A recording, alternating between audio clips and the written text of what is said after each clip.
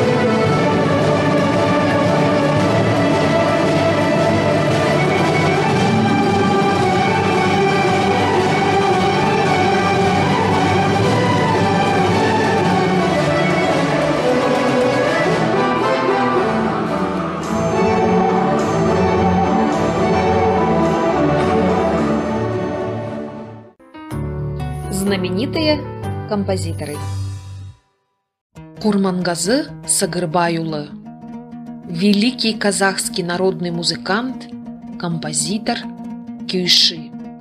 Его называют Кюй Атасы, отец Кюя.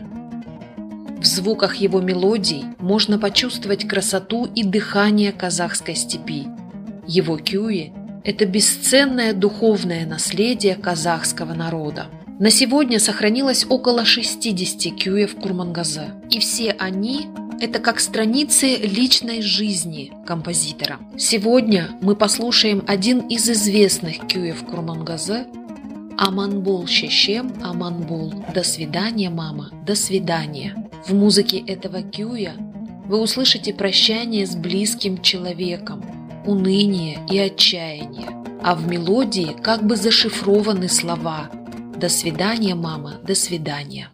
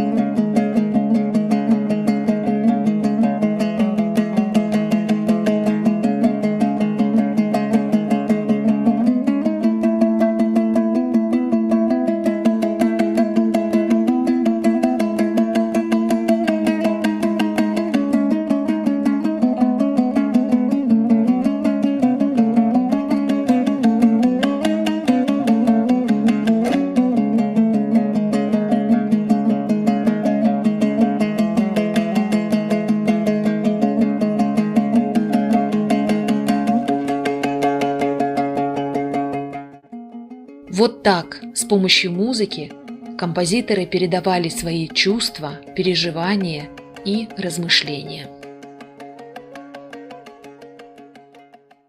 Скорей распахивайте двери, зовет нас праздник птичьей трелью.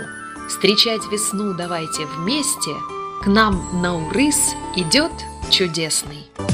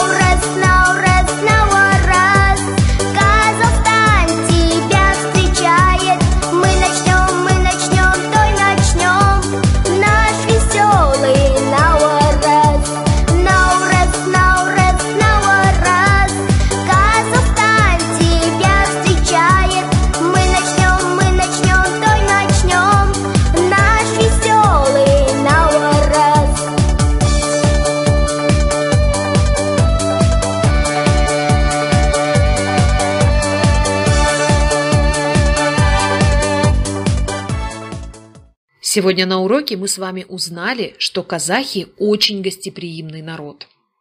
Особо почитали Акынов, Кюйши и Жирау. Мы с вами познакомились с произведением Нургисы Тлиндиева «Ата Толгауэ», а также познакомились с Кюйши Курмангазы Сагарбаюлы и послушали его кюй «Аманбол щещем Аманбол».